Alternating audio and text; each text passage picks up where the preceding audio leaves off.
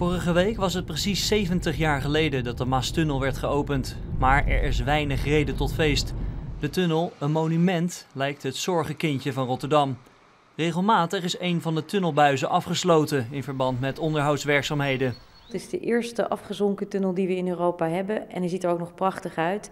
Maar is inmiddels oud en we hebben inderdaad een probleem geconstateerd. We hebben betonrot in de tunnel en dat moeten we in de komende tijd gaan aanpakken. Afgelopen zomer kon het verkeer van noord naar zuid drie maanden geen gebruik maken van de Maastunnel in verband met werkzaamheden aan de ventilatiebuizen. Vooral de eerste dagen stond het verkeer in Rotterdam muurvast.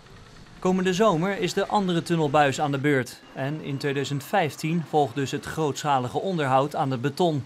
Het is niet de eerste keer en het is altijd een puinhoop dan. Nou, we hebben natuurlijk vorig jaar een tijdje gehad dat één tunnelbuis was afgesloten. Nou, dat was ook niet best natuurlijk. Dan zal het nodig zijn, denk ik.